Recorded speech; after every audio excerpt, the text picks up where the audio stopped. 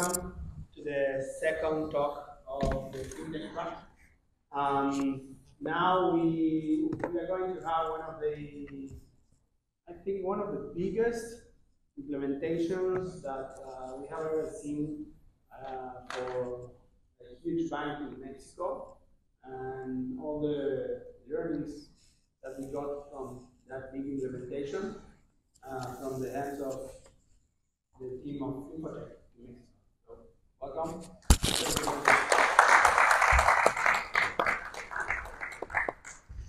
Thank you, everybody. It's a pleasure to, to be here. Um, like Javier just said, we're going to talk about open banking core for the Mexican government. So I'm Federico Gonzalez. I'm the CEO of the National Research and Innovation Center for Technology of the country. So I know it's very weird that you have a politician or a public service member here in the in in the presentations. I know that every time I go to a open software forum, they go really Mexico is doing stuff in open source, so it's very bizarre. I'm here also with Victor. He's our solution architect for for the solution, eh, especially in the in the banking core.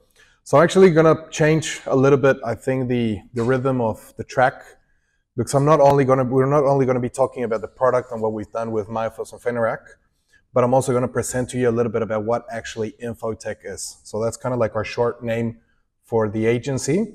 I will also touch base in what Mexican government is doing to promote a little bit of open source, um, because I know that's kind of like one of the topics, and we saw it today in the morning. Then we'll talk about why we actually built this open banking core and then Victor will get into some of the technical features and show you a little bit bits and pieces of the product that we've actually built up for you. So what's INFOTEC? The million dollar question, I got there about three and a half years ago. It was very hard to define, but we came up with this beautiful phrase that we're a public research center of the federal government, which contributes to the digital transformation of Mexico. We do this through research, innovation, academic training, and development of information and communication technologies products. This we can sell to private and public sector, and we want to try to enable pathways that lead to a modern Mexico and a digital inclusive one. So pretty much we've got um, a whole lot of range of things that we do. So you can see that it's a very broad spectrum. So we do have a software fabric, so that's where we're doing some software development. Then we've got a division where we're doing specialized products, and this is where this banking system that we've baptized as CB, which is pretty much integral banking INFOTEC system, and quickly translated that. And, um, and then we've got data center and IT infrastructure. We actually have the largest government-owned data center in the Mexican government. Then we also do our research and development team. So we do have teams that are working constantly in R&D, but they're also doing academic stuff. So during the pandemic, we actually did the mobile the the index of mobility in the country. So were people actually going out? Were they moving? And this was used to actually take decisions on how the government was reacting to the pandemic. And then we also have academic programs. So INFOTEC on numbers, so you can get a little bit of a dimension of how big um, INFOTEC is. Mexico being a big country, everything is massive. We're around 1,500, 1,800 people working currently in INFOTEC. And this is between researchers, developers, um, data center crew, administration, um, people on site working in different projects. We have seven master degrees. So one of the most popular ones right now um, is um, a master in digital law. So that fusion between technology and the legal world, which nowadays you don't really have any cases that you don't have digital media that are part of the evidence. So how are we dealing with that, intellectual property, that kind of things. We've got the research projects that I just mentioned you one from the pandemic. We have a tier three certified data center, which is the largest one in the country, like I mentioned before. And then we have a secondary DRP data center in Mexico City to three locations, Mexico City, the city of Aguascalientes, and city of Pachuca. We are a certified institution from ISO, the CMMI Institute. Um, we have the actual, we have four labs. One of them is the National Lab of Internet of the Future for the country. So that's a lab that services the whole country. And we also have kind of like a big data lab. We also have a national monitoring center for SOC and NOC operations. So pretty much everything that lives within our data center gets monitored there, but also we monitor some of the external entities within the government as well. And we're just about to launch, hopefully before the end of the year, we're going to be launching the INFOTEC Open Community. So this is going to be a community where the development that INFOTEC has done over the years can become a public good. And any government agency, federal, state, or local, can access these codes. The logic behind this is we've spent money, we've spent resources, we've spent time building this technology. Now we want this technology to be used by everybody that's that's able to get access it. So instead of having government spend the same amount of money on the same product, they can benefit from whatever we've done. Of course, it won't be everything that we've got because some of the stuff we need to keep it either confidential or or or um, or we need to keep the property to be able to subsidize. An interesting thing about INFOTEC is that we do all this without receiving a dime from government budget. We're a hundred percent self-funded organization. So we're really more of a private, we're more like a company. So we need to go and we need to sell business to generate revenue. Once we get that revenue, then we can do the R&D, we can do the academic side. So we're a self-supported agency. Some of the projects that we've worked with in the last couple of years, we've got the Ministry of Health. Um, so we actually built the distribution system for medical products that's uh, currently operating in the country. We did the COVID-19 mobility index that I spoke about earlier. We hosted the COVID-19 vaccination app for the entire country. We did in foreign affairs, the platform that is being used to issue passports abroad is part of the INFOTEC um, technology that we've developed in our services um, with the foreign agency. And this passport is now the electronic passport of Mexico. So that was also a very big revolution that we that we were able to do there. We're also working in a project called CFE Internet for All. This is pretty much an attempt for the Mexic- from the Mexican government to try to reach the places where there's no connectivity in Mexico. So we're helping them build um, the backbone of fiber optics. So we've lit more than 10,000 kilometers. Um, we've, we've helped to install more than 2,000 BTS antennas around the country. And we have more than a 100,000 open Wi-Fi hotspots that we have distributed and we're currently supervising the operation of these. We're also working with the Ministry of Health Authority. So this is kind of like the one that authorizes medicines and some equipment. So we're doing the online service platform. We built that from nothing and that's now operating. The Water Commission of Querétaro. Querétaro is one of the larger cities in Mexico. It's one of the fastest growing in the country. And there we're employing, we're, we're administering part of the operation of the water system. And we've also just launched their payroll system for more than 2,500 employees. Ministry of Labor, we've done an employment portal, youth development platform that's currently operating. And finally, I think one of the ones that I'm most proud of, we're actually contributing to El Salvador. And we've helped them launch their School of Innovation and Technology. And they're actually operating four technic, higher technical education programs that began at INFOTEC. Um, these programs, I will talk about them a little bit more because one of them you're probably going to be quite surprised has to do with a lot of stuff that we're talking here today. We have built strategic collaborations as, a, as an agency. We were able to, to, to discover a way that we could create um, and grow our technical and scientific capacities. And we were able to sign agreements with all of these um, actors to do that with. And of course, we, we decided to put Mifos on top of the on top of the list because it's the talk of today. But we also got Red Hat, Amazon, Huawei, Google, Akamai, Microsoft, CentOS is a local cybersecurity um, company, Xfusion, the lead technology. So there's a lot of work behind this. It's been quite a quite a wild ride for the last three and a half years, but we're now working with some really interesting people. When it comes to the academic programs, I mentioned earlier the the one in in law. but we also got master in strategic direction of ICT, economic regulations, and competitivity of the telecommunications sector. So that's actually a tailor-made program for the Telecommunications Agency of Mexico. And we also got a doctorate in data science. So if any of you speak Spanish and want to study with us, you're more than welcome to, to do so.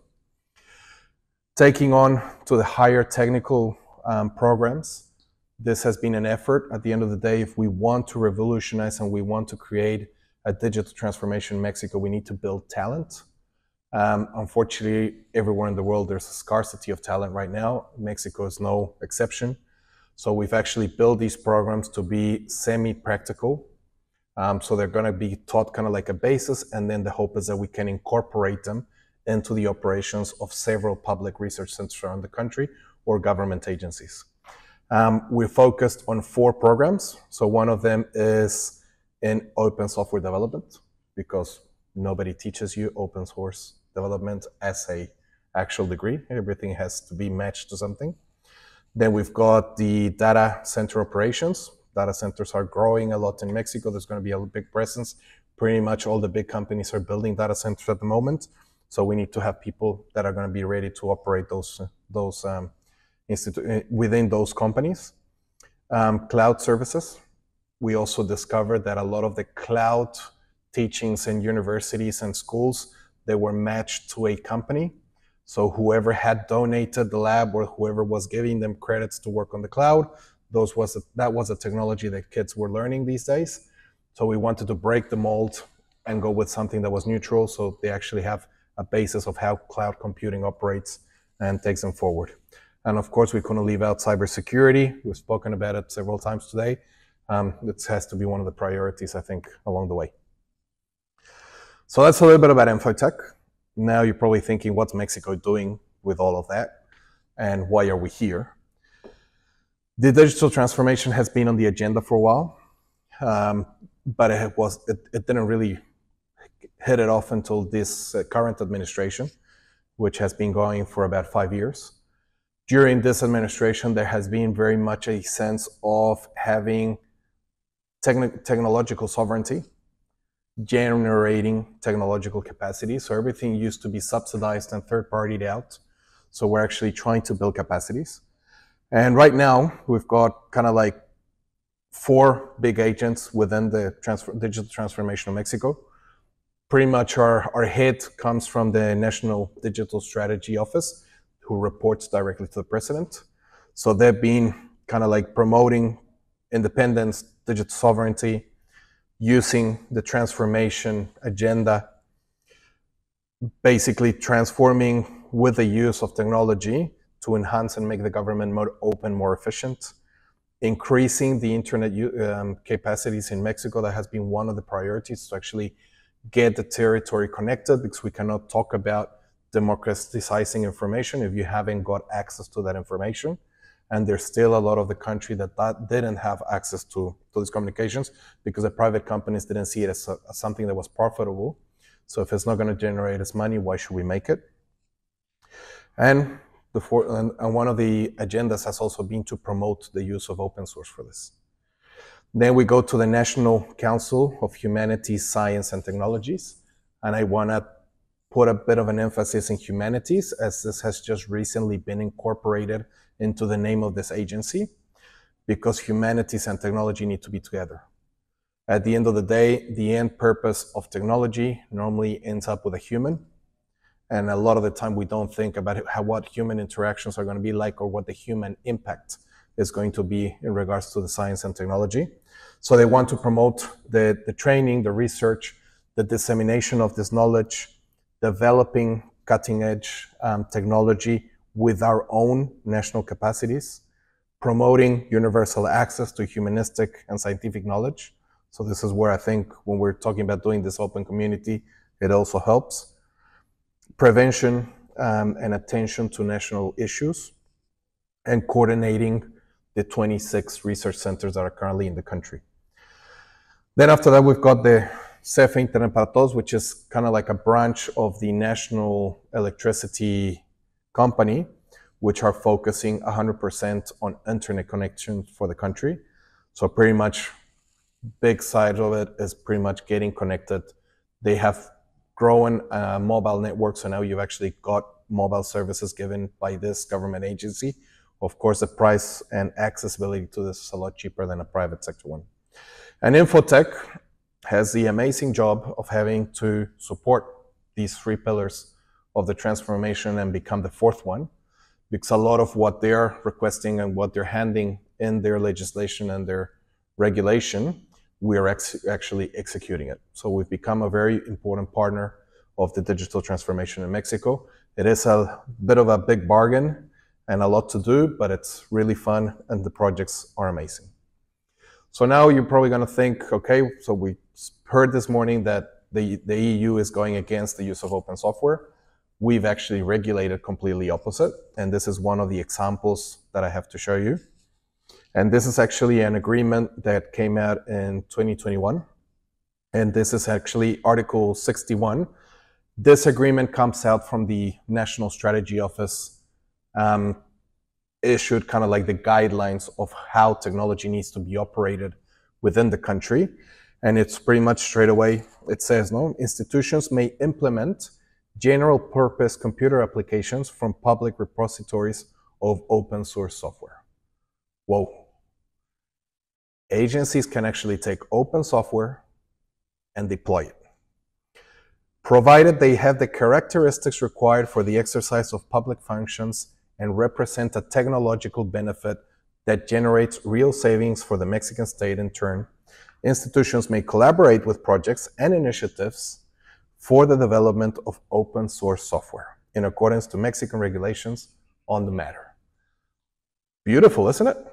So it doesn't only allow you to use it, but it allows you to collaborate with you guys.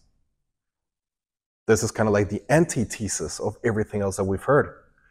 So this is pretty cool, pretty amazing. I have to say that there were a couple of discussions in regard of how this was going to be written. And when we saw it on paper, it was really nice.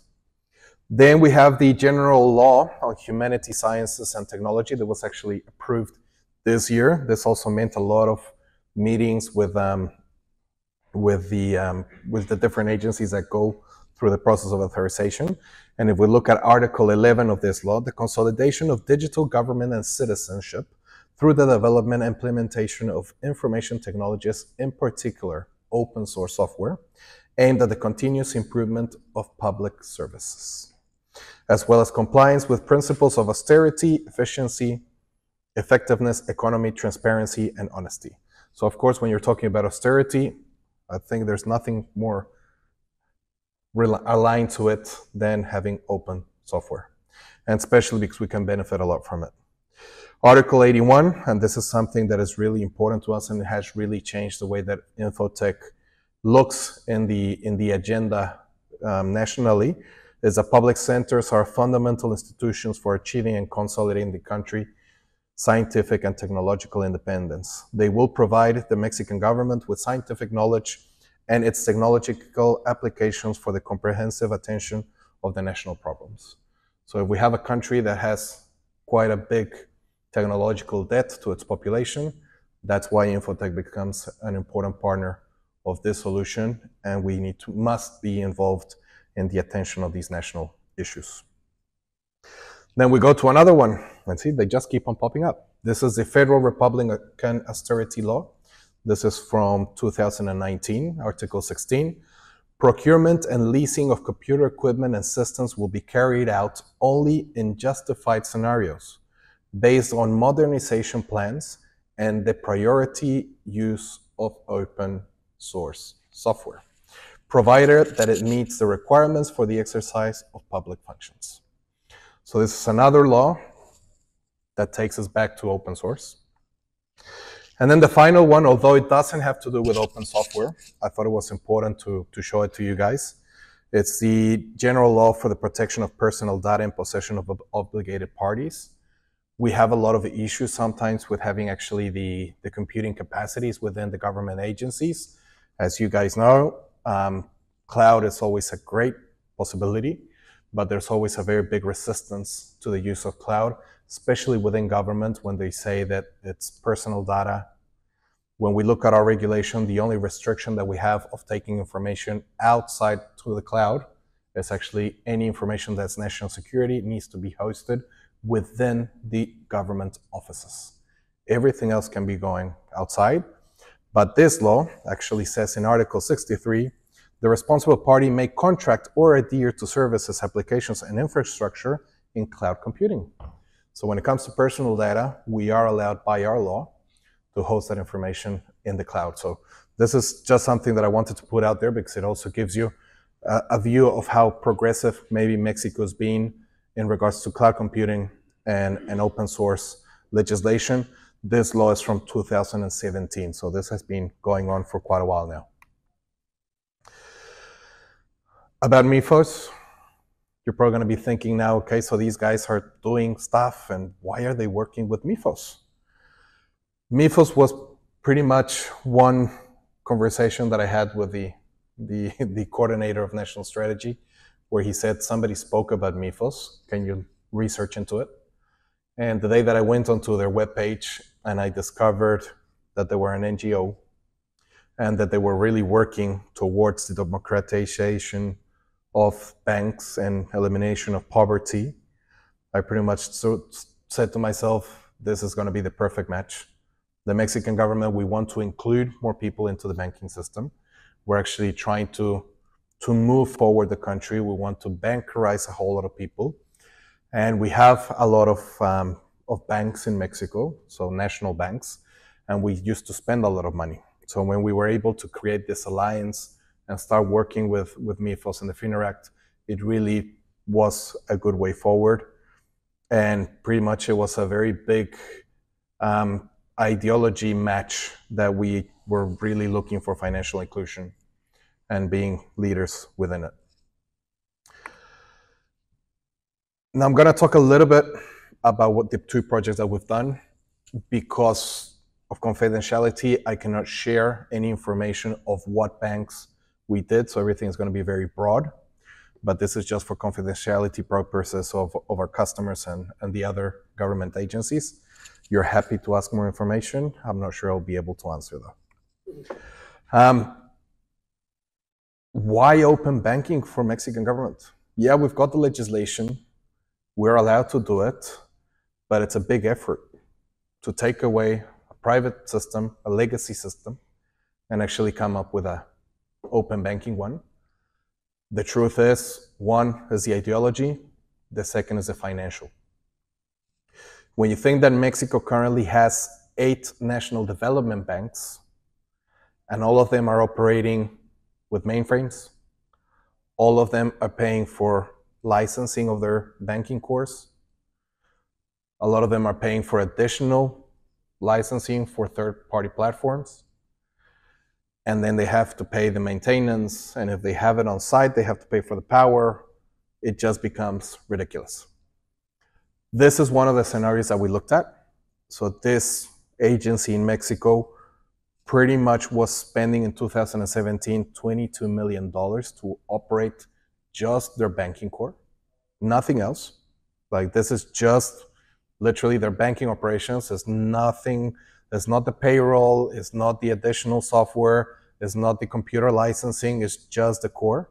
In 2018, it went up to 32 million. In 2019, it went down a little bit to 30 million.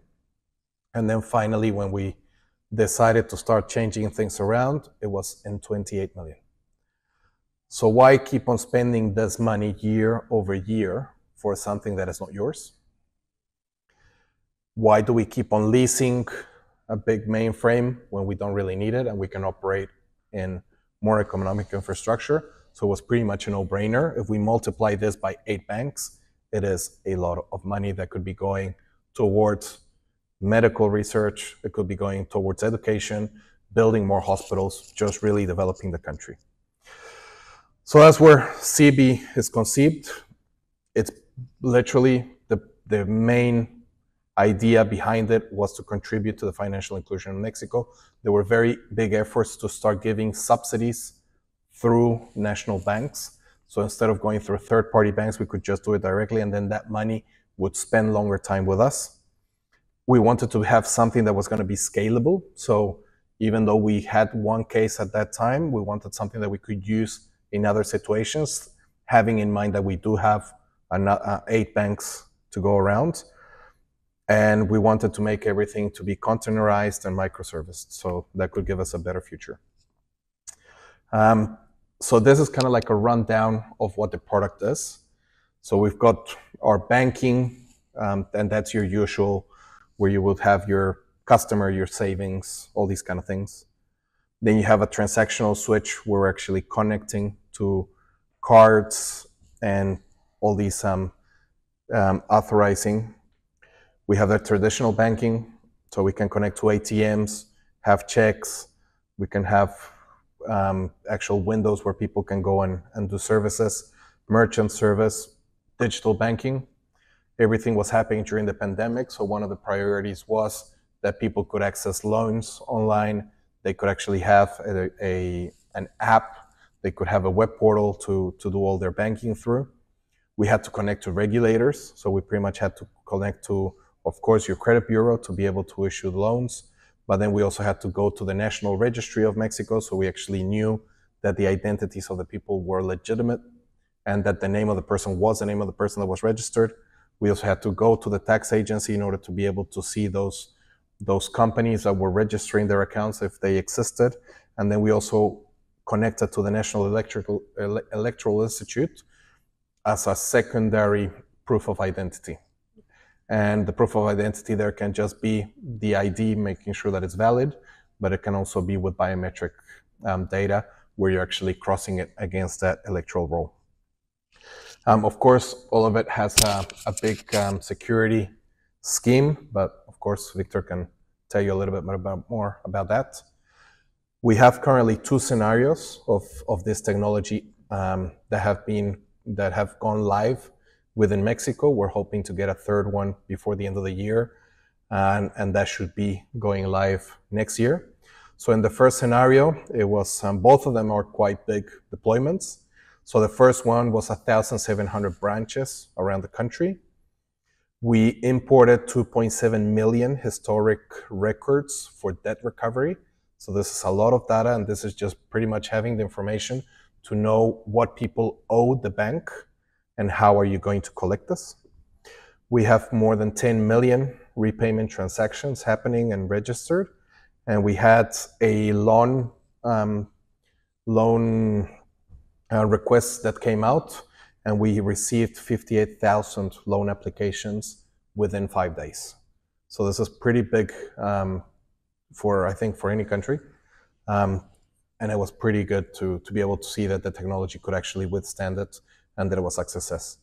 In the second scenario, we have 2,000 branches operating countrywide. You need to remember Mexico is a very big country. We have 10, 20 million users of the platform, up to 4 million card transactions happening, um, up to 5,000 interbank transactions per second. And that was what we were testing. Um, and that was kind of like our stress test for, for the platform. And we had 150,000 loan applications filed within one week when we did the first campaign for the platform.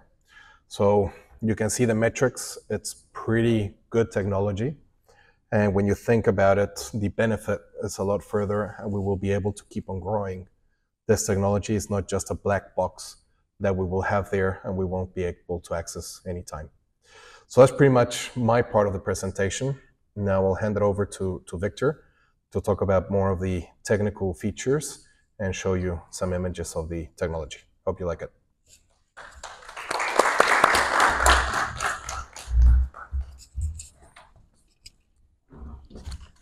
Hello, everyone. Um, I am the solution architect for INFOTEC. We are helping and collaborating with the federal uh, agency in order to enable the, the technology that we have been talking in the previous days and today, in this case, is Apache Fineract, in order to transform this in social benefits. Which are these social benefits? To promote the financial inclusion and to democratize the access to the financial services. Uh, this is a very quick sample about how we have done the deployment for the Fineract. In this case, we have the, the core banking we have built uh, ch digital channels around uh, this solution in order to uh, enable and to make easier to the general population to have access to this financial service. Our main focus has been the mobile application, which has been de de deployed to Android and iOS, which are the most common uh, mobile platforms. But also we have used another open source technologies like the field officer application in order to enroll new customers into the core banking. Uh, we have used uh, several, uh, another several open source projects like the uh, web app, which is part of the MIFOS community, in order to uh, improve and to align to the local regulations, uh, in order to generate reports to align also the loan products to the National Commission for, for Banking and Securities, to align also the reports for the central bank, which all the transaction must be encrypted and decrypted using either uh, certificates uh, and, and, keys, and keys. And also we use hardware uh, like HSCM, which are required for, for this, doing this kind of computing. Also, um, we have uh, the back office uh, users, which are in charge for designing this, this kind of product, which are savings, which are loans or which are sharings accounts, which can be opened in any point of Mexico. As uh, Federico has uh, commented before, you can open, or the Mexican population can open an account anytime at any point of Mexico. Um, also, we have the web banking and internet banking that must accomplish, uh, I can say, most of the uh, most complicated regulation in the world because we have several layers of not only security but also in process. And, and also we have to handle the, the load. How we handle the load, we have selected a database which is TitanDB. Uh, this is a distributed database that helps us to, um, to load the, the workload uh, in order to, to have a good performance with this amount of transaction happening in, in the core system. And also, we're required to do this because there are uh, pension fund dis disbursement uh, that are happening most of the time every 15 days for the elders in order to, to promote also the, the, the wellness for this uh, population layer. So we have this challenge to this, this, this kind of bulk operation in, in the core banking. And also we have to integrate to accounting or to external system, which was another challenge. For example, to connect to, to the car management system, to the fraud management system also. And to connect to the ATMs because um, I can say that the, the, the, government was decided to use debit cards to use the branches. So then this was a, a kind of a, of a challenge to in order to connect solutions that were in mainframe that were in another, I can say, closed solution. And most of the time we have to do some kind of reverse engineering in order to accomplish this kind of transaction.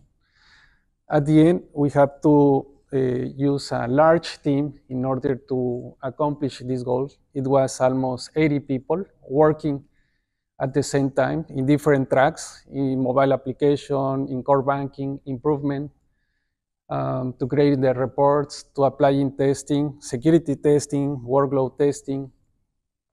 And also, um, we can say that the capacity of the INFOTEC has increased about the culture of open source software, how to do it in the Apache way.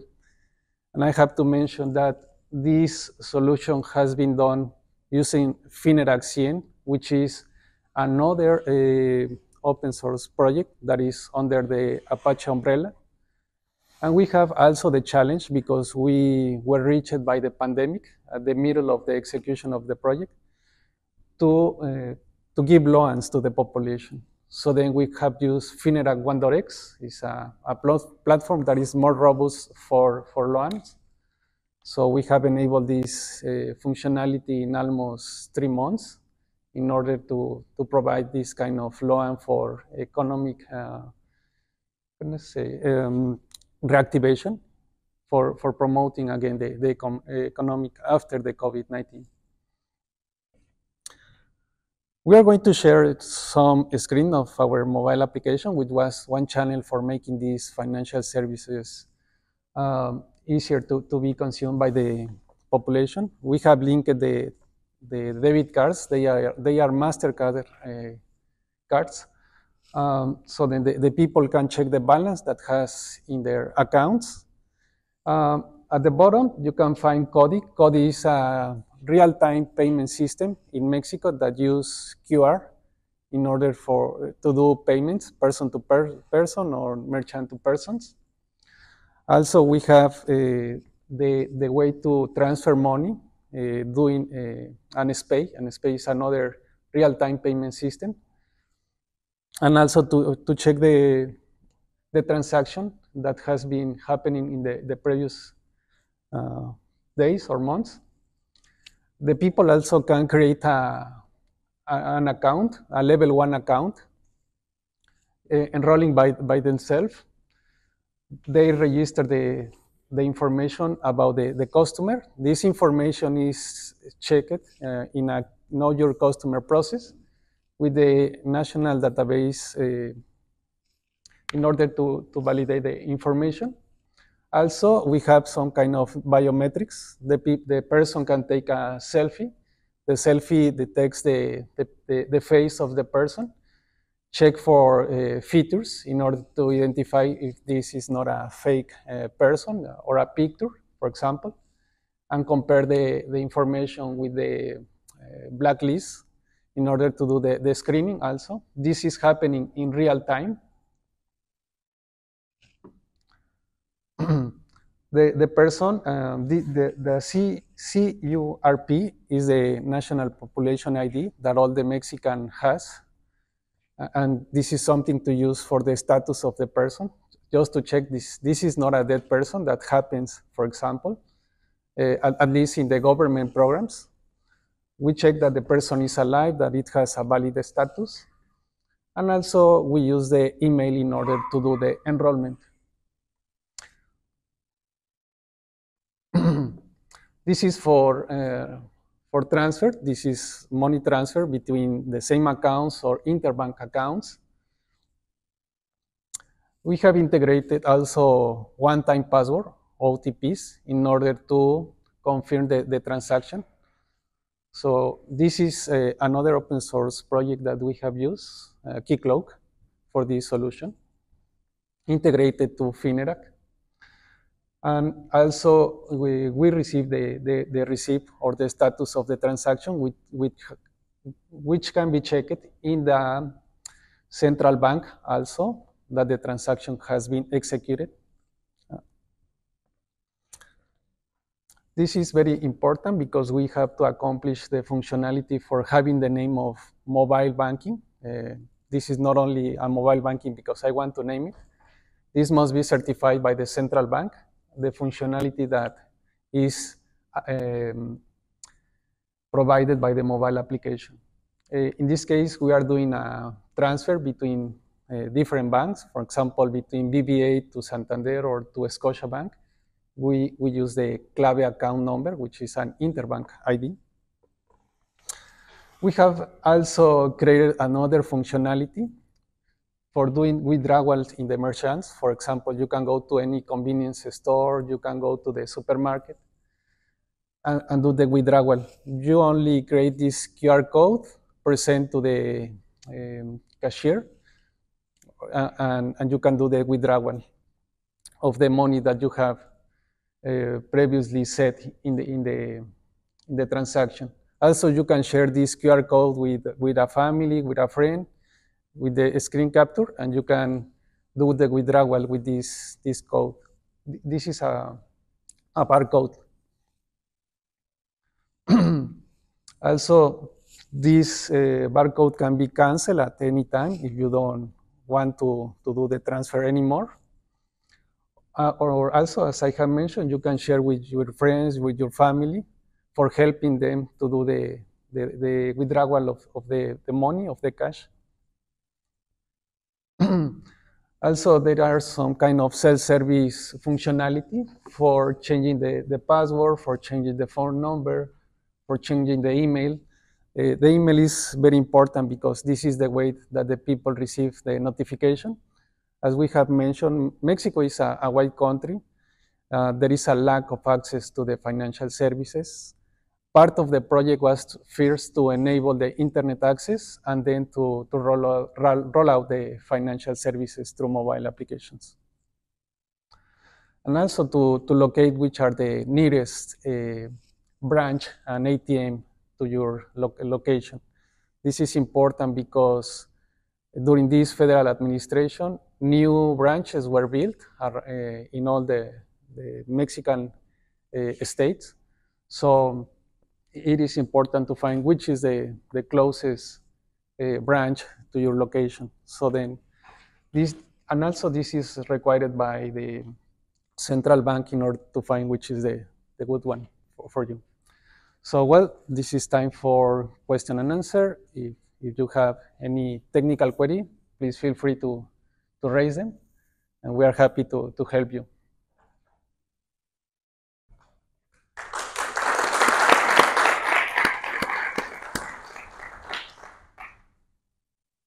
How is your cooperation between CNN and one point? What are the goods or bads? Which way to go for the I, I think that the community, well, Could you repeat the question first? For the recording, could you Uh, repeat the question? could you please repeat it? Uh, I I mean, oh, okay, yeah, yeah. Which is the, the, the, the best version for the community, Fineract CN or Fineract 1.x? Yeah. The, I- I think that the community should go first for the 1.x. Why? Because it is easier to deploy, easier to, to provide the functionality that I think most of the community is looking for, to give loans in a quick way, to have an easy platform to maintain, and that is more adopted and tested for, for loans. Only if you have a huge team like the like INFOTEC team, you can enable new features on Fineract CN. You can test the, the functionality that will be created because I can say that it is a, a raw framework. Fineract CN is a raw framework that only if you have the knowledge how to, how to build it, how to deploy it, how to orchestrate the mi- microservice that are in Fineract CN, you can go in this way. Of course, this is a distributed, uh, I can say, platform. Even uh, it has the, the only common that is between 1.x is the name Fineract, but the architecture is another concept. How many users do you have at any given time on, on your platform? Number there? Final users? How many users do you have at any given time on your platform? How many users are using your platform right now? Right now, Yeah. I can say thousands. The whole country? Yeah, yeah, yeah. In fact, they are right now they are doing the the loans in the in the branches. Ye- yesterday, we registered 2,600 applications um, across 1,700 branches. yes, and I would have another question for you. Um, you said before you you are acting kind of like a, like a company, right? Without funding, immediate funding from the government. and so on. So you're kind of competing against like commercial providers in the country. Um, ho- how do you solve this problem? I mean, the but there's also and, competition laws and stuff like that. I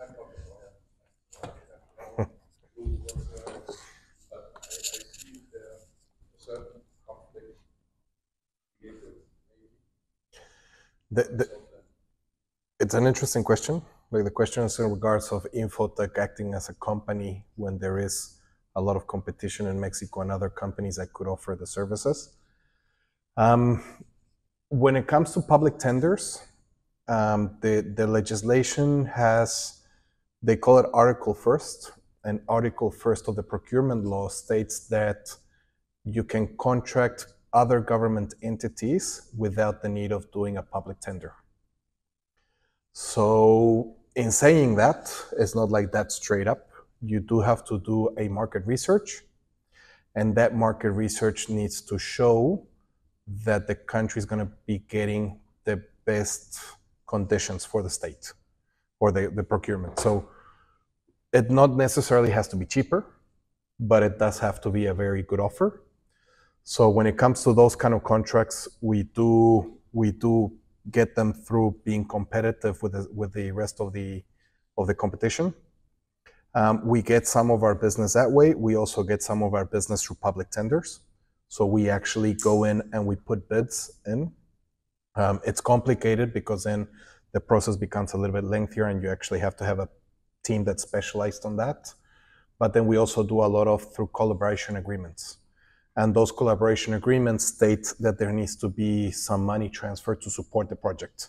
So that's how we do kind of like the three ways that we that we work. Of course, private companies have been, I don't want to say an issue, but there was a lot of private interests in a lot of the government contracts. And of course, that has been an, an issue because when you're talking about a country that, that has um, a long history of corruption, when you come in as a private um, government agency, a public agency, to take that contract, you're not in conditions to bribe government officials because we are government officials. And this has been one of the ideas behind the growth of INFOTEC to reduce corruption. So when people have personal interest in some contracts, then the way to get that contract becomes a little bit more complicated. But that's been part of the idea behind it, that being government to government, we can reduce that, um, that situation in the country. Any other questions?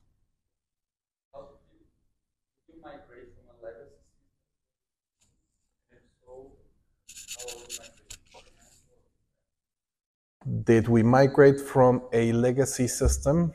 Um, in one of the scenarios, we migrated the data from a legacy system, and that was a bit of a nightmare, um, like any migration. In the second scenario, it was a little bit complicated because there wasn't a real system, but they had already started issuing loans by hand. So we had a whole lot of Excels, and that was probably worse than the, the other one because at least the other one was a little bit more organized in tables. Um, we pretty much just looked at the way that we could restructure the data and insert it into the system and restructured. The biggest issue was that a lot of the information that we needed for the new platform, it didn't exist in the previous one. So there was a lot of decision making, a lot of going back to the to the to the agencies and telling them, hey, the platform needs this data. We haven't got it. What are we going to do? And started to do those compromises of what we're actually going to include, what we're going to drop. If they did have the data, how we were going to insert that. And and in the in the first scenario, we we also had to do a lot of um, data cleanup because everything was really really really messy. We even had we had bank accounts that didn't have a name. So those kind of decisions you need to come together and say like, how are we going to tackle this? Do we just send that to like a general bank account and kill the account, or do you need to keep it? What is the procedure? Because it's also you're talking about banks, so it's not like they can just delete an account and and that'll be it. So it was a lot of work and a lot of talking to the customer. Any other questions? Alex again.